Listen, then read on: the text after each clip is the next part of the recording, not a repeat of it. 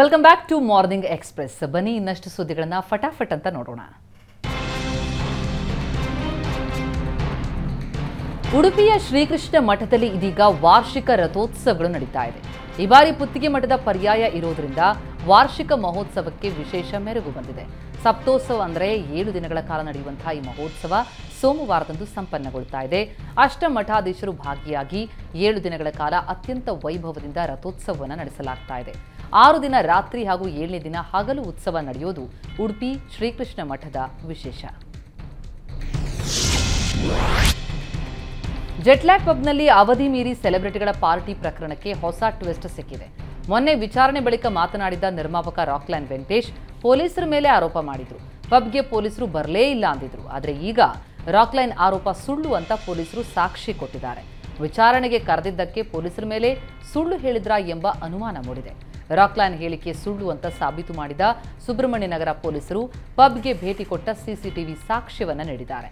ಎರಡೆರಡು ಬಾರಿ ಜೆಟ್ಲ್ಯಾಗ್ ಪಬ್ಗೆ ಪೊಲೀಸರು ಹೋಗಿದ್ದ ಬಗ್ಗೆ ಸಿಸಿಟಿವಿ ವಿಡಿಯೋವನ್ನ ರಿಲೀಸ್ ಮಾಡಿದ್ದಾರೆ. ದಿನಾಂಕ, ಸಮಯ ದಾಖಲಾಗಿರುವ ಸಿಸಿಟಿವಿ ವಿಡಿಯೋ ಬಿಡುಗಡೆ ಮಾಡಿದ್ದು ಜನವರಿ ನಾಲ್ಕನೇ ತಾರೀಕಿನ ರಾತ್ರಿ ಮೊದಲಿಗೆ ಹನ್ನೆರಡು ನಲವತ್ತೊಂಬತ್ತಕ್ಕೆ ನಂತರ ಎರಡು ಐವತ್ತೊಂದಕ್ಕೆ ಪಬ್ಗೆ ಬಂದಿರೋದಕ್ಕೆ ಸಾಕ್ಷಿ ಕೊಟ್ಟಿದ್ದಾರೆ. ಮುಸ್ಲಿಮರು ಕೂಡ ದೇಣಿಗೆ ಕೊಟ್ಟು ನಿರ್ಮಾಣವಾದಂತಹ ಭಾವೈಕ್ಯತೆಯಿಂದ ಕೂಡಿದ ರಾಮ ಮಂದಿರ ಮೈಸೂರಿನಲ್ಲಿದೆ. ಮೈಸೂರಿನಲ್ಲಿ ಹತ್ತಕ್ಕೂ ಹೆಚ್ಚು ಮುಸ್ಲಿಂ ಕುಟುಂಬಗಳು ರಾಮ ಮಂದಿರ ನಿರ್ಮಾಣಕ್ಕೆ ದೇಣಿಗೆ ಕೊಟ್ಟು ಭಾವೈಕ್ಯತೆಯನ್ನ ಮೆರೆದಿದ್ದಾರೆ. ಮೈಸೂರಿನ ದೇವರಾಜ್ ಮೊಹಲ್ಲಾದಲ್ಲಿರುವ ಸಾವಿರದ ಒಂಬೈನೂರ ತೊಂಬತ್ನಾಲ್ಕರಲ್ಲಿ ಲೋಕಾಭಿರಾಮ ಮಂದಿರ ಜೀರ್ಣೋದ್ಧಾರ ಮಾಡಲಾಗಿತ್ತು. ಜೀರ್ಣೋದ್ಧಾರದ ಸಂದರ್ಭದಲ್ಲಿ ಹಿಂದೂಗಳ ಜೊತೆಗೂಡಿ ಮುಸ್ಲಿಮರು ಮತ್ತು ಕ್ರೈಸ್ತರು ಕೂಡ ದೇವಸ್ಥಾನಕ್ಕೆ ನೆರವು ಕೊಟ್ಟಿದ್ರು. ಇದಕ್ಕೆ ಸಾಕ್ಷಿ ಎಂಬಂತೆ ರಾಮಮಂದಿರ ದೇವಾಲಯದಲ್ಲಿ ಅಂದು ದೇಣಿಗೆ ಕೊಟ್ಟ ಎಲ್ಲಾ ಮುಖಂಡರ ಫೋಟೋ ಇವತ್ತಿಗೂ ಕೂಡ ದೇವಸ್ಥಾನದಲ್ಲಿ ರಾರಾಜಿಸ್ತಾ ಇದೆ.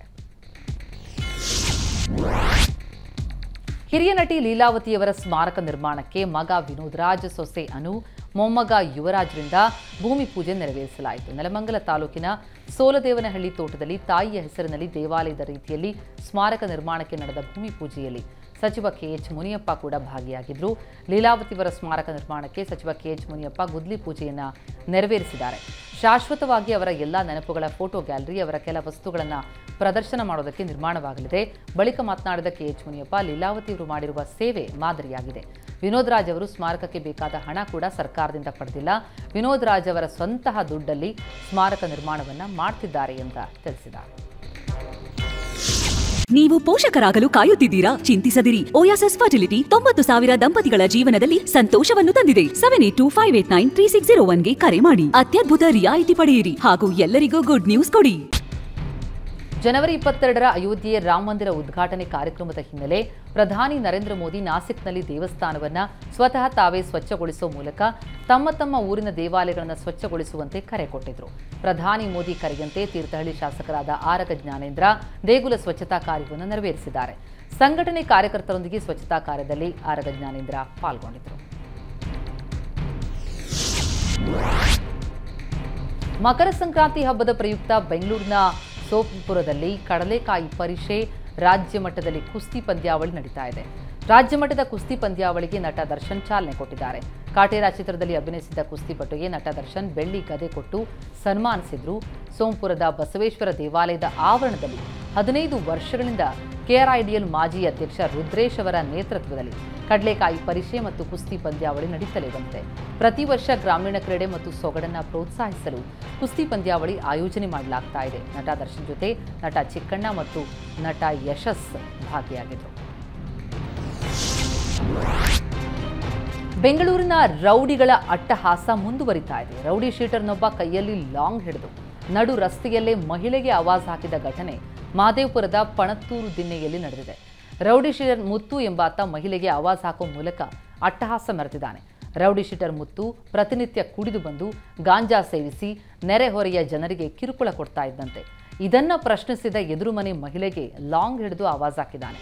ಲಾಂಗ್ ಹಿಡಿದು ಮಹಿಳೆಗೆ ಆವಾಜ್ ಹಾಕ್ತಿರುವಂತಹ ವಿಡಿಯೋ ವೈರಲ್ ಆಗಿದೆ. ವಿಡಿಯೋ ವೈರಲ್ ಆದರೂ ಇದುವರೆಗೂ ಪೊಲೀಸರು ಯಾವುದೇ ರೀತಿಯ ಕ್ರಮ ಕೈಗೊಂಡಿಲ್ಲ. ದಾವಣಗೆರೆ ನಗರದಲ್ಲಿ ಸಂಕ್ರಾಂತಿ ಹಬ್ಬದ ಸಂಭ್ರಮ ಜೋರಾಗಿದೆ. ಪಿಜೆ ಬಡಾವಣೆಯ ಸ್ವೆಟ್ ಪಾರ್ಕ್ನಲ್ಲಿ ಮಹಿಳೆಯರು ಎಳ್ಳು ಬೆಲ್ಲ ಹಂಚಿ ಪರಸ್ಪರ ಸಂಕ್ರಾಂತಿಗೆ ಶುಭ ಕೋರಿದ್ದಾರೆ. ಹಬ್ಬದ ಅಂಗವಾಗಿ ಮಹಿಳೆಯರು, ಯುವತಿಯರು ಮಸ್ತ್ ಡಾನ್ಸ್ ಮಾಡಿದ್ದಾರೆ. ಮಳೆ ಬೆಳೆ ಕಡಿಮೆಯಾಗಿರುವುದರಿಂದ ಈ ಬಾರಿ ರೈತರ ಮೊಗದಲ್ಲಿ ಅಷ್ಟು ಖುಷಿ ಇಲ್ಲ.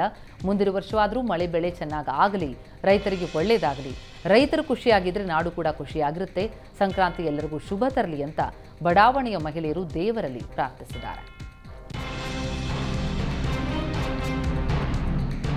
ಕರ್ನಾಟಕ ಸೇರಿದಂತೆ ದೇಶಾದ್ಯಂತ ಮಕರ ಸಂಕ್ರಾಂತಿ ಹಬ್ಬದ ಸಂಭ್ರಮ ಮನೆ ಮಾಡಿದೆ ಸಂಕ್ರಾಂತಿ ಸಂಭ್ರಮದಲ್ಲಿ ಪ್ರಧಾನಿ ನರೇಂದ್ರ ಮೋದಿ ತಮ್ಮ ನಿವಾಸದಲ್ಲಿ ಗೋವುಗಳಿಗೆ ಮೇವು ತಿನ್ನಿಸಿದ್ದಾರೆ ಪ್ರಧಾನಿ ಮೋದಿ ಕೆಲ ಹೊತ್ತು ಗೋವುಗಳ ಜೊತೆ ಕಾಲ ಕಳೆದಿದ್ದಾರೆ. ಪ್ರಧಾನಿ ಮೋದಿ ತಮ್ಮ ನಿವಾಸದಲ್ಲಿರುವ ಆರಕ್ಕೂ ಹೆಚ್ಚು ಗೋವುಗಳಿಗೆ ಮೇವು ತಿನ್ನಿಸಿದ್ದು ಮೇವಿನ ಜೊತೆ ಗೋವುಗಳಿಗೆ ಸಂಕ್ರಾಂತಿ ಹಬ್ಬದ ಸಿಹಿ ಕೂಡ ತಿನ್ನಿಸಿದ್ದಾರೆ ಜನವರಿ ಇಪ್ಪತ್ತೆರಡರಂದು ರಾಮ ಮಂದಿರದಲ್ಲಿ ರಾಮಲೀಲಾ ಪ್ರಾಣ ಪ್ರತಿಷ್ಠೆ ಮಾಡಲಿರುವ ಪ್ರಧಾನಿ ಮೋದಿ ಸದ್ಯ ವ್ರತ ಕೈಗೊಂಡಿದ್ದಾರೆ. ಈ ಶುಭ ಸಂದರ್ಭದ ನಡುವೆ ಮೋದಿ ಸಂಕ್ರಾಂತಿ ಹಬ್ಬವನ್ನ ಆಚರಿಸಿದರು. ರಾಹುಲ್ ಗಾಂಧಿ ನೇತೃತ್ವದಲ್ಲಿ ಭಾರತ್ ಜೋಡೋ ನ್ಯಾಯ ಯಾತ್ರೆ ಆರಂಭ ಆಗಿದೆ. ಮಣಿಪುರ ರಾಜ್ಯದಲ್ಲಿ ಯಾತ್ರೆಗೆ ಚಾಲನೆ ಸಿಕ್ಕಿದೆ. ಯಾತ್ರೆಗೆ ಚಾಲನೆ ನೀಡುವ ವೇಳೆ ಮಾತನಾಡಿದ ರಾಹುಲ್ ಗಾಂಧಿ, ಜನಾಂಗೀಯ ಹಿಂಸಾಚಾರದಿಂದ ತತ್ತರಿಸಿರುವ ಮಣಿಪುರ ರಾಜ್ಯದಲ್ಲಿ ಶಾಂತಿ ಸಹಬಾಳ್ವೆ ಪುನರ್ ಸ್ಥಾಪಿಸುವ ಭರವಸೆ ಕೊಟ್ಟಿದ್ದಾರೆ. ಎರಡ್ ಸಾವಿರದ ಇಪ್ಪತ್ಮೂರರ ಮೇ ತಿಂಗಳಿನಲ್ಲಿ ಆರಂಭವಾದ ಮಣಿಪುರ ಗಲಭೆಯಿಂದಾಗಿ ರಾಜ್ಯಾದ್ಯಂತ ನೂರ ಎಂಬತ್ತು ಜನ ಮೃತಪಟ್ಟಿದ್ರು ಇದೇ ಘಟನೆಯಲ್ಲಿ ಸಾವಿರಾರು ಮಂದಿ ಮನೆ ಕಳೆದುಕೊಂಡು ನಿರಾಶ್ರಿತರಾಗಿದ್ದರು. ಸಂಕ್ರಾಂತಿ ಹಬ್ಬದ ಸಂದರ್ಭದಲ್ಲಿ ಶಬರಿಮಲೆಯಲ್ಲಿ ಮಕರ ಜ್ಯೋತಿ ದರ್ಶನವಾಗಲಿದೆ. ಪ್ರತಿ ವರ್ಷವೂ ಸಂಕ್ರಾಂತಿಯಂದು ಮಕರ ಜ್ಯೋತಿ ಗೋಚರವಾಗುತ್ತೆ. ಮಕರ ಜ್ಯೋತಿಯನ್ನು ಕಣ್ತುಂಬಿಕೊಳ್ಳೋದಕ್ಕೆ ಸಹಸ್ರಾರು ಸಂಖ್ಯೆಯಲ್ಲಿ ಅಯ್ಯಪ್ಪ ಮಾಲಾಧಾರಿಗಳು ನೆರೆದಿರ್ತಾರೆ. ಭಕ್ತರು ಆಗಮಿಸುವ ಹಿನ್ನೆಲೆ ಈಗಾಗಲೇ ಅಯ್ಯಪ್ಪ ದೇಗುಲದಲ್ಲಿ ಸರ್ವ ರೀತಿಯಲ್ಲೂ ಸಿದ್ಧತೆ ಮಾಡಿಕೊಳ್ಳಲಾಗಿದೆ.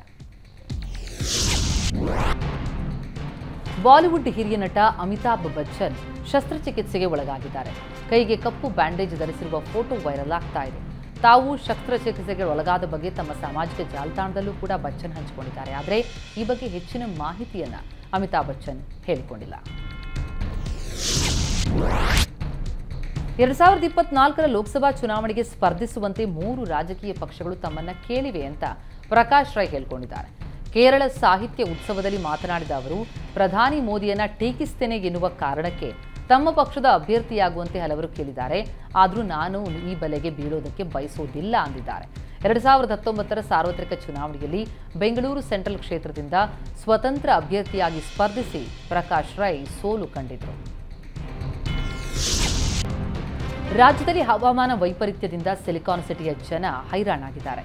ಬೆಳಗಿನ ಜಾವ ಆರು ಗಂಟೆಯಾದರೂ ದಟ್ಟ ಮಂಜು ಆವರಿಸ್ತಾ ಇದ್ದು ವಿಪರೀತ ಚಳಿಗಾಳಿ ಬೀಸ್ತಾ ಇದೆ. ಬೆಂಗಳೂರು ಸೇರಿದಂತೆ ಬಹುತೇಕ ಭಾಗದ ಜನ ಮಾರ್ನಿಂಗ್ ವಾಕಿಂಗ್ಗೆ ಬ್ರೇಕ್ ಕೊಟ್ಟಿದ್ದಾರೆ. ಬೆಂಗಳೂರು ಮತ್ತು ಸುತ್ತಮುತ್ತಲಿನ ಪ್ರದೇಶಗಳಲ್ಲಿ ಭಾಗಶಃ ಮೋಡ ಕವಿದ ವಾತಾವರಣ ಇರುತ್ತೆ. ಬೆಂಗಳೂರಿನ ದೇವನಹಳ್ಳಿ ಬಳಿ ಇರುವಂತಹ ಕೆಂಪೇಗೌಡ ಅಂತಾರಾಷ್ಟ್ರೀಯ ವಿಮಾನ ನಿಲ್ದಾಣದ ಸುತ್ತಮುತ್ತ ಮುಂಜಾನೆ ದಟ್ಟವಾದ ಮಂಜು ಆವರಿಸಿತ್ತು. ಹೀಗಾಗಿ ವಿಮಾನ ಹಾರಾಟದಲ್ಲಿ ವ್ಯತ್ಯಯ ಆಗಿದೆ ಸುಮಾರು ಎರಡು ಗಂಟೆಗೂ ಹೆಚ್ಚು ಸಮಯ ಮೂವತ್ನಾಲ್ಕು ವಿಮಾನಗಳು ಟೇಕ್ ಆಫ್ ಆಗಲೇ ಇಲ್ಲ. ನಿಗದಿತ ಸಮಯಕ್ಕೆ ಫ್ಲೈಟ್ ಟೇಕ್ ಆಫ್ ಆಗದ ಕಾರಣಕ್ಕೆ ವಿವಿಧ ದೇಶ ವಿದೇಶಕ್ಕೆ ತೆರಳು ಪ್ರಯಾಣಿಕರು ತೊಂದರೆಯನ್ನು ಅನುಭವಿಸಬೇಕಾಯಿತು. ದಟ್ಟ ಮಂಜು ಆವರಿಸಿದ್ದ ವಿಮಾನ ಹಾರಾಟದಲ್ಲಿ ಭಾರೀ ವ್ಯತ್ಯಯವಾಯಿತು. ತನ್ನ ವಿರುದ್ಧ ಸುದ್ದಿ ಬಿತ್ತರಿಸಿದ್ದಕ್ಕೆ ಪತ್ರಿಕಾ ಕಚೇರಿಯ ಎದುರು ನಿಂತು ಬೈಯಲು ಅನುಮತಿ ಕೋರಿ ವ್ಯಕ್ತಿಯೊಬ್ಬ ಅರ್ಜಿ ಸಲ್ಲಿಸಿದ್ದಾರೆ. ಪ್ರತೀಕ್ ಸಿನ್ಹಾ ಎಂಬ ವ್ಯಕ್ತಿ ಉತ್ತರ ಪ್ರದೇಶದ ಪ್ರತಾಪ್ಗಢ ಜಿಲ್ಲಾಧಿಕಾರಿಗೆ ಇಂತಹ ವಿಚಿತ್ರ ಮನವಿ ಸಲ್ಲಿಸಿದ್ದಾರೆ.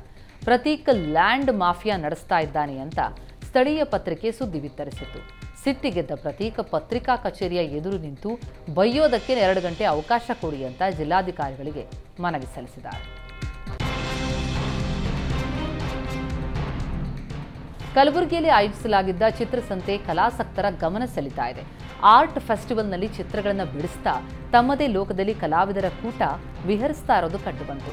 ಕಲಬುರಗಿ ನಗರದ ಟೌನ್ ಹಾಲ್ ಬಳಿ ಏರ್ಪಡಿಸಲಾಗಿದ್ದ ಕಾರ್ಯಕ್ರಮದಲ್ಲಿ ನಾಡಿನ ವಿವಿಧ ಸಂಸ್ಕೃತಿಯನ್ನು ಬಿಂಬಿಸುವ ಕಲಾಚಿತ್ರಗಳು ಕಲಬುರಗಿ ಉದ್ಯಾನದಲ್ಲಿ ಅನಾವರಣಗೊಂಡು ಪುಟ್ಟ ಮಕ್ಕಳು ಕೂಡ ಖುಷಿಯಿಂದ ಚಿತ್ರ ಬಿಡಿಸ್ತಾ ನೆರೆದವರನ್ನ ಅಚ್ಚರಿಗೊಳಿಸಿದರು. ಕೆಲವೊಂದು ಪೇಂಟಿಂಗ್ ಅದ್ಭುತವಾಗಿತ್ತು, ಜನ ಅವುಗಳ ಫೋಟೋ ಕ್ಲಿಕ್ಕಿಸ್ತಾ ಕಲಾವಿದರಿಗೆ ಪ್ರೋತ್ಸಾಹಿಸಿದರು. ಚಿತ್ರಸಂತೆಯಲ್ಲಿ ಕಲಬುರಗಿ ಸೇರಿದಂತೆ ಯಾದಗಿರಿ, ರಾಯಚೂರು, ಬೀದರ್, ವಿಜಯಪುರ ಹೀಗೆ ನಾನಾ ಜಿಲ್ಲೆಯ ಖ್ಯಾತ ಕಲಾವಿದರು ಭಾಗವಹಿಸಿದರು. ಚಿತ್ರದುರ್ಗ ಜಿಲ್ಲೆ ಹಿರಿಯೂರು ತಾಲೂಕಿನ ಯಳನಾಡು ಗ್ರಾಮ ಪಂಚಾಯಿತಿ ಬಿಲ್ ಕಲೆಕ್ಟರ್ ಆನಂದ್ ಲೋಕಾಯುಕ್ತ ಬಲೆಗೆ ಬಿದ್ದಿದ್ದಾರೆ. ಆಲೂರು ಗ್ರಾಮದ ಪಾಂಡುರಂಗಪ್ಪ ಮನೆ ಬಿಲ್ ಮಾಡಲು ಮೂವತ್ತು ಸಾವಿರಕ್ಕೆ ಲಂಚಕ್ಕೆ ಬೇಡಿಕೆ ಇಟ್ಟಿದ್ರಂತೆ. ಬಿಲ್ ಕಲೆಕ್ಟರ್ ಆನಂದ್ ಇಪ್ಪತ್ತೈದು ಸಾವಿರ ರೂಪಾಯಿ ಲಂಚ ಸ್ವೀಕರಿಸುವಾಗ ಲೋಕಾಯುಕ್ತ ಡಿವೈಎಸ್ಪಿ ಮೃತ್ಯುಂಜಯ ನೇತೃತ್ವದಲ್ಲಿ ದಾಳಿಯಾಗಿದೆ.